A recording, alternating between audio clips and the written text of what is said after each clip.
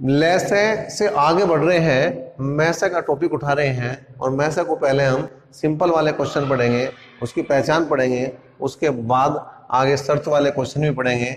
सबसे पहले मैसे मतलब एचसीएफ की बात कर लेते हैं। एचसीएफ क्या है? Highest common factor highest common factor मतलब जो संख्याएँ होंगी हमारी, उन संख्याओं को विभाजित करने वाली सबसे बड़ी संख्या हमारा क्या होती है? एचसीएफ हो जाती है। ठीक है जी? जैसे 16 और 20 की अगर हम बात करें तो फैक्टर करें हमने इनके अगर तो दो दुनी, चार दुनी, आठ दुनी, सोलह। और 20 की बात करें तो दो दुनी, चार पंजे बीस। तो जो कॉमन है दोनों में, ठीक है? हाईएस्ट फैक्टर कॉमन फैक्टर चाहिए हमें तो जो कॉमन है वो क्या है हमारे? टू इंटू टू तो एच कितना हो जाएगा इसका? एच हो जाएगा इसका चार। अब निकालने की बात कैसे है भाई? एच निकालते कैसे हैं? उसके हमारे पास, उसके भी यहाँ तीन विधि है हमारे पास। क्या है? पहली है अभाज्य गुणनखंड विधि।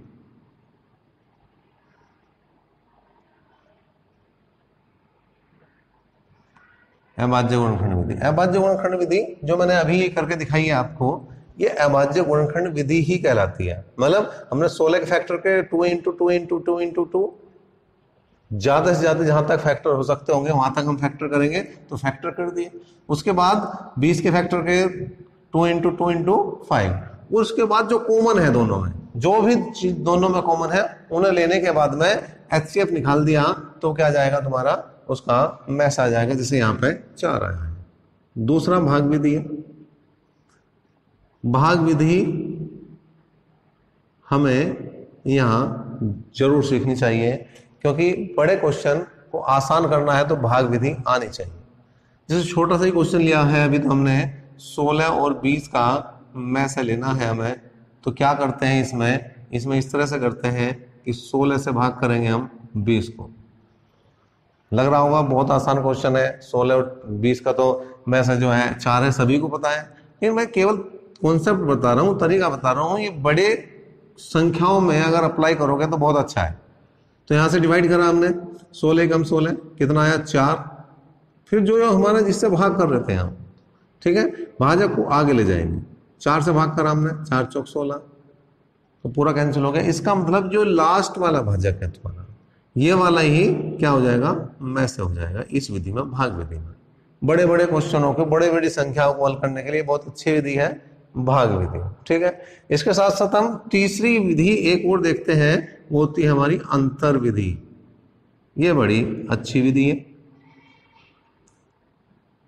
सबसे कम समय अगर मैसे में आपको लगेगा तो लगेगा अंतर विधि से। कैसे? जैसे मैंने ले रहा है 16 और 20 का मैसे लेना तो इन दोनों का डिफरेंस ले लो। डिफरेंस कितना आया? चार। जैसे ही डिफरेंस चार आया वैसे ही इसका मैसे या तो चार होगा या चार से कोई छोटी संख्या चार का, जो चार को विभाजित करती होगी, वो हो सकता है। मतलब या तो चार, नहीं तो दो और नहीं तो एक इसका मैस हो सकता है। तो पहले चार से वाइज करके देखा हमने। चार से वाइज चार चौक सोलह, चार पंजे बीस, इसका मतलब इसका मैसा कितना हो गया? इसका मैसा चार हो गया। इस कॉन्सेप्ट से हम बहुत बड़े बड़े क्वेश्चन कर सकते हैं। जैसे हमने एक क्वेश्चन लिया। बाईस सौ पचास, तीन हज़ार, चौबीस सौ चौबीस सौ पचास, बाईस सौ पैंतालीस, बत्तीस सौ, चौंसठ सौ, अड़तालीस सौ अड़तालीस सौ पाँच का मैसे ज्ञात करना है। ठीक है? इतनी बड़ी बड़ी संख्याएँ अगर इनका मैसे ज्ञात करेंगे तो अगर भाग विधि से भी कर रहे हैं तो बहुत टाइम लग जाएगा हमें। ठीक है ना? क्योंकि संख्याएँ कई हैं हमारे पास और संख्याएँ बड़ी भी हैं। तो यहाँ पे क्या करेंगे, हम दो बहुत नज़दीक, जो सबसे ज़्यादा नज़दीक संख्याएँ हैं, उन दो संख्याओं को देखेंगे और उनका डिफरेंस देखेंगे? जैसे मैंने यहाँ पे देखा 2250 और 2245 बहुत नज़दीक संख्याएँ हैं, और इनका मैसे कितना है? इनका इनका सॉरी डिफरेंस जो है, वो कितना है? पाँच है।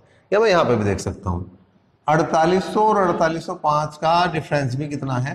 पाँच इसका मतलब जो डिफरेंस आया है हमारा पाँच, या तो मैं से पाँच रहा होगा, या पाँच से कोई छोटी संख्या जो पाँच को विभाजित कर दे, वो रही होगी, और पाँच को केवल दो संख्या विभाजित कर सकती है, या तो खुद पाँच या एक।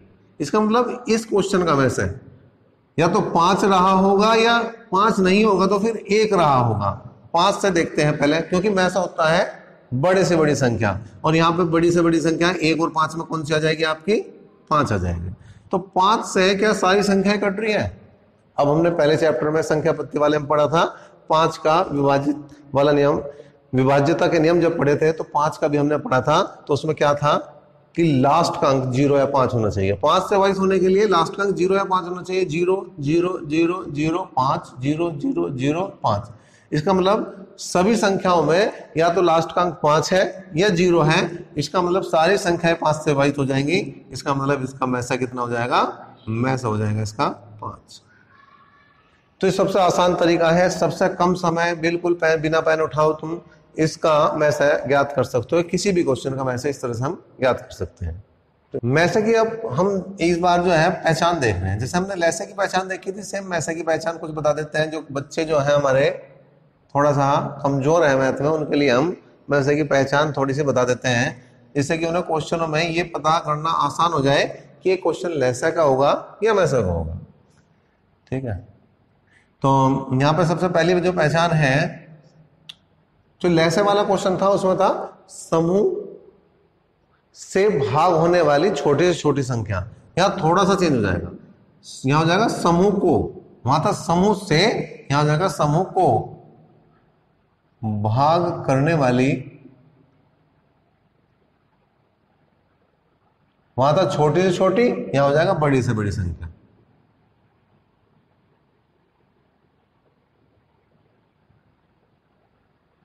ठीक है जी? समूह को भाग करने वाली बड़ी से बड़ी संख्या अगर कहीं पता करी जा रही है तो वो हो जाएगा तुम्हारा मैथ है ठीक है?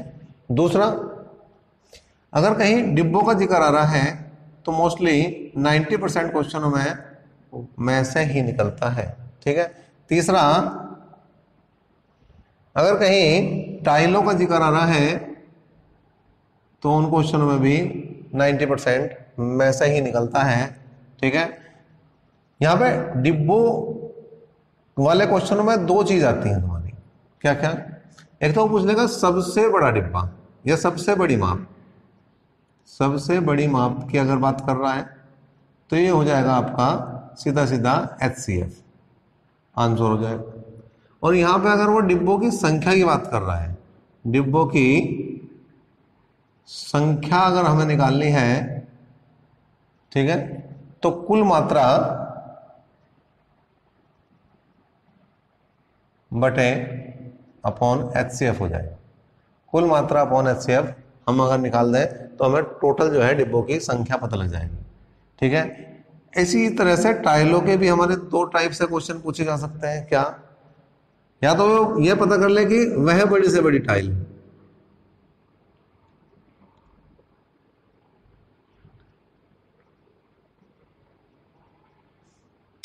की माप? अगर याद करवा रहा है, केवल एक टाइल की माप की बात कर रहा कर रहा है तो यहाँ केवल उसका हमारा एच सी एफ़ ही हमारा आंसर हो जाएगा। लेकिन अगर हम वहाँ टाइलों की संख्या की बात कर रहा है, टाइलों की संख्या की अगर बात कर रहा है तो यहाँ पर हो जाएगा कुल फर्श का क्षेत्रफल अपॉन एक टाइल का क्षेत्रफल। एक टाइल का क्षेत्रफल। क्या मैं यहाँ कह दूँ कि कमरे की लंबाई गुणा चौड़ाई अपॉन एच सी एफ़ का वर्ग भी मैं लिख सकता हूँ क्योंकि जो टाइल होगी वो हमारी वर्ग होगी और जो वर्ग का क्षेत्रफल होता है वो हमारा भुजा स्क्वायर होता है और जो हमारी एच सी एफ़ है वो वर्ग की टाइल की जो है एक भुजा की लंबाई है। ठीक नेक्स्ट है हमारा वह बड़ी से बड़ी संख्या कौन सी है जो 24, 36 और 40 को पूर्णतः विभक्त करते जो हमने पहचान बताई थी, उसमें ये बताया था कि समूह को भाग करने वाली सबसे बड़ी संख्या। देखो, जो अंतर विधि है, अगर वो लग रही है हमारी तो उससे आसान कुछ होता ही नहीं। तो यहाँ पर देखो अंतर विधि लगी हुई है, क्योंकि डिफरेंस आ गया चार। छत्तीस और चालीस का डिफरेंस चार है, और चार से अगर मैं डिवाइड कर दूँ चौबीस को तो ये भी डिवाइड हो जाएगा चार छः चौबीस। ठीक है, नौ चौक छत्तीस और दस चौक चालीस, इसका मतलब इनका मैसा कितना हो जाएगा? इनका मैसा हो जाएगा चार। तो हमने क्या देखा जो समूह से विभक्त होने वाली संख्या थी। जो समूह से जो समूह को विभक्त कर दे सॉरी समूह को विभक्त करने वाली जो सबसे बड़ी संख्या है वो क्या है? चार है। क्योंकि इनका डिफरेंस चार है। और हमने बताया था कि डिफरेंस जो भी होगा या तो मैसा हो रहा होगा या उससे छोटी संख्या जो उसे विभक्त करती होगी वो रही होगी। नेक्स्ट क्वेश्चन देख रहे हैं हम। तीन ड्रमों में क्रम से 403, 434 और 341 लीटर दूध है। वह बड़े से बड़े किस माप का डिब्बा होगा जो इन्हें पूरा पूरा माप दे? अब डिब्बा पूरा पूरा डिब्बे का ज़िक्र जैसे आया तो हमने देखा क्या? मैं से निकलना चाहिए भाई। तो 403, 434 और 341 का मैं से लेना है। तो हमने देखा दो छोटी संख्याएँ दो नज़दीक वाली संख्याएँ लेंगे हम। ठीक है? दो नज़दीक वाली संख्याएँ क्या है हमारी? दो नज़दीक वाली संख्याएँ हमारी 403 और 434 इन दोनों का हमने जो डिफरेंस लिया तो डिफरेंस कितना आ जाएगा तुम्हारा? इकतीस। ठीक है? इकतीस, या तो इसका में से इकतीस रहा होगा, या इकतीस से छोटी कोई संख्या रही होगी। अब हमने देखा कि क्या इकतीस इसका मैच है? इकतीस कम इकतीस, नौ बज गए इकतीस, तिया तिरानवे, बिल्कुल सही है, ये तो विभाजित है। फिर देखा हमने, चार सौ चौतीस क्या इकतीस से विभाजित है? तो इकतीस कम इकतीस। ठीक है? बारह बचे, एक सौ चौबीस हो गए, इकतीस चौका एक सौ चौबीस तो ये भी विभाजित है। और ये इकतीस कम, इकतीस तीन बचे, इकतीस कम, इकतीस, इसका मतलब इनका मैसा कितना हो गया? इनका मैसा जो हो गया, वो इकतीस ही हो गया। ठीक है? इसका मतलब जो ये, वह बड़े से बड़े माप, बड़े से बड़े किस माप का डिब्बा? तो जो डिब्बे की माप है। मैंने बताया था कि अगर डिब्बे की माप पूछा रहा है तो हमारा आंसर क्या हो जाएगा? जो मैसे है, वो हमारा आंसर है। तो बड़े से बड़े डिब्बे की माप जो है